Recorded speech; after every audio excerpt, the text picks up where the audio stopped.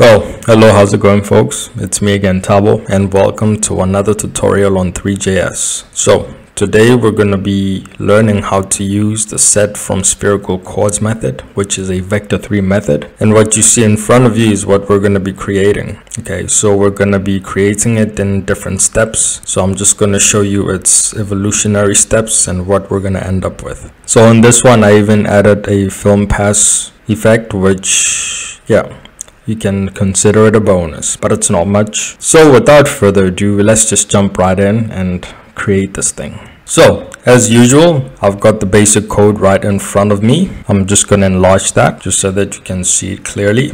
So as usual, we'll be importing our Three.js module and we'll be using the orbit control also. And these are the different post-processing effects that we'll be using.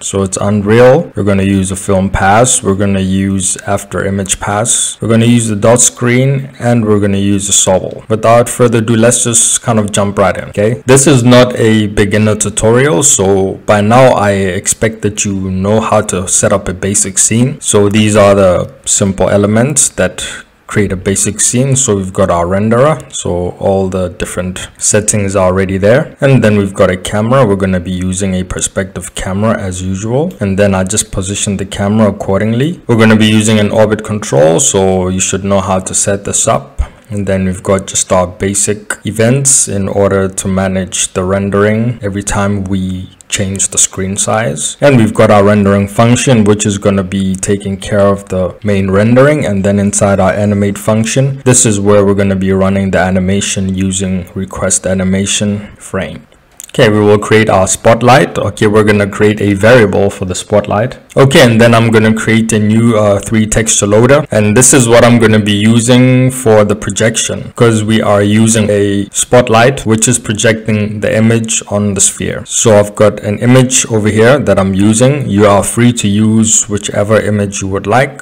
but I will include this in the tutorial. If you want to use this instead, then it will be available. This is how it goes. So we just give it a path this is where the image is located and after that then we have a callback function which takes an argument of texture.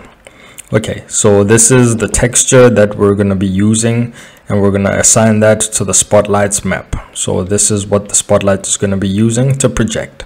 So this is how you set it up. And then next up we're gonna then create our post-processing effects. Okay so we're gonna create a render pass variable and assign it the render pass module which takes up a scene and a camera. So for those of you that are not familiar with post-processing effects, I will link the beginner tutorial to post-processing effects so that you can understand what is happening here. But if you want to know more and understand deeply what is happening here, then I would recommend that you watch the beginner tutorial, but you can follow along so long. So then we're going to create an after image composer. Now an after image composer is not all that different uh, from how we create other composers. We basically just take an effect composer and then give it a renderer. And then after that, then we will assign it the after image pass. So we create a after image pass using the after image module or post processing module. And then afterwards then we will change its uh, damp value and we will give it this particular value. You can change it around play around with it so you can see the different effects but this is the one that we're going to be sticking to. And then we continue to create our bloom pass. We create our dot effect and we also change the scale value we make it 4 but you can play around with that. You are free to do so. We'll create the luminosity uh, effect using the new shader pass assigning it luminosity shader. So we're going to be doing the basic uh, post-processing stuff. So just have a look at all of this and just follow along.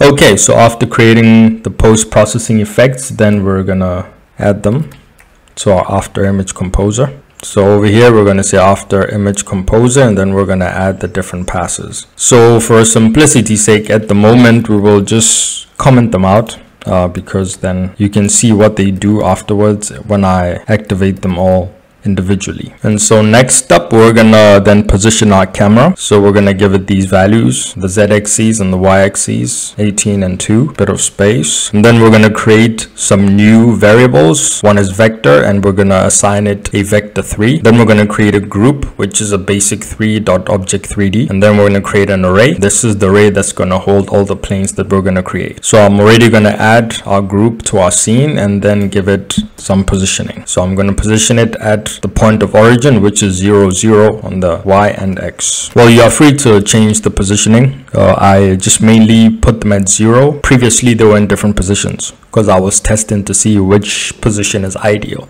So ultimately i guess if you just wanted to keep it there then you don't even have to really have all of this but I'm just kind of taking you through it as I created it and then you can choose what you want to do with it afterwards. So next up I'm going to create a for loop and this is where we're gonna then create our different planes. So this is gonna create 200 planes which we're gonna then push into our plane array and then afterwards then we're gonna add them to a group. Now if you're wondering why is it that I'm not just adding them to the group is because we're gonna use this array later on to create some animations and to add all the other different effects to use set from spherical coords it's gonna be going through each and every element within the array and then giving it the necessary value. So that's what that is there for. Okay, so just before our render function, we're gonna then create a variable called time. So we've got our time variable and inside we're gonna then increment it by 0.005 then underneath here then we create another for loop. And so this is where all the magic happens. So in order to set this up um, we're gonna create a for loop. Inside of this for loop we're gonna be iterating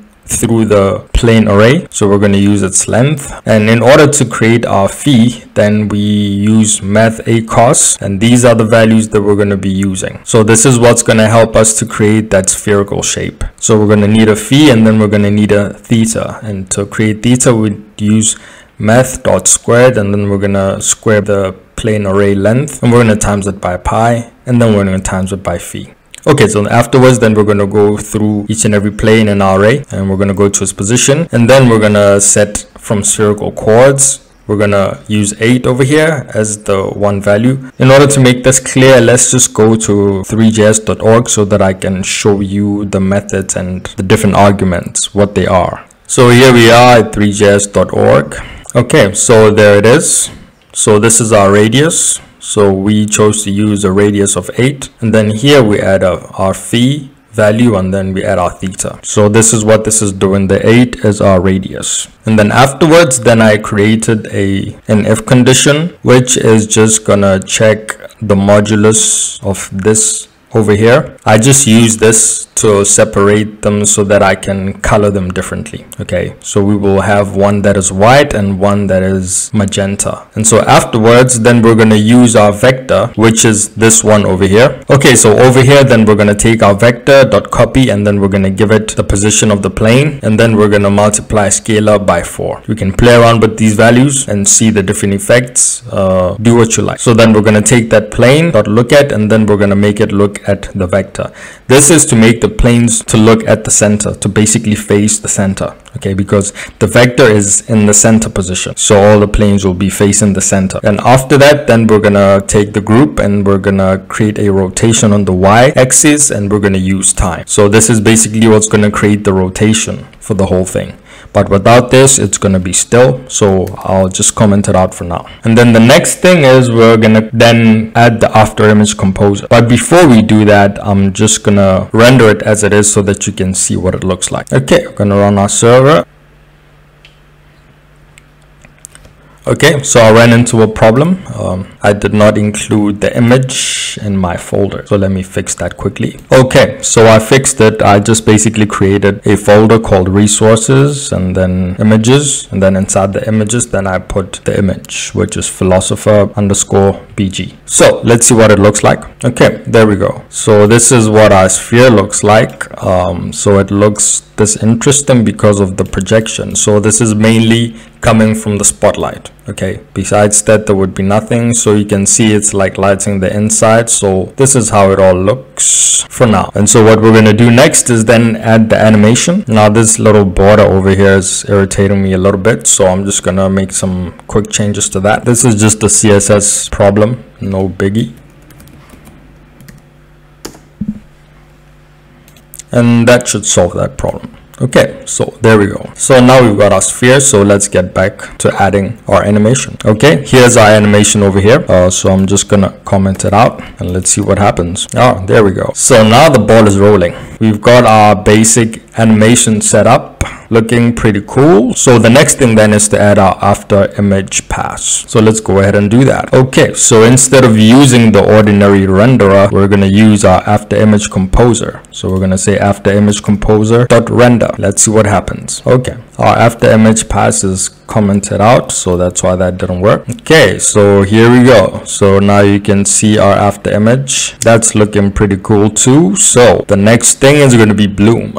So i'm just gonna comment them out one by one so that you can see what each one is doing. So we've got our after image running so now we're gonna check out bloom on top of it. Okay so that's what it looks like with the bloom effect on it. So these are layered on top of each other so it's after image pass and then bloom. So we're just going to keep on adding the layers. Next up sobel effect. Oh cool. I would say by far this is my favorite. It just has this really cool effect about it. Next we're gonna add some dots. So now we've got the dot effect on top of it. Last but not least i'm going to add a film pass. Okay so the film pass adds these kind of streaks of color. So you can choose whether you like it or not but ultimately this is what we're getting. I hope that you enjoyed it. Uh, i certainly enjoyed doing it. It's a very fascinating process you know to just put all these things together and see what comes out. So yeah ultimately i guess this is what Three.js is all about. So without saying a lot i'm just gonna say if you like my content be sure to hit that like button, hit the notification bell, subscribe because this is really essential so that the algorithm recognizes that my content is good and that it could recommend it to other people like yourself. So please do this. This will help me greatly. If there's ever anything that you can do for me in return, just hit that like. Okay. So, without saying a lot, I just want to say love and peace, my brothers and sisters. I'm out.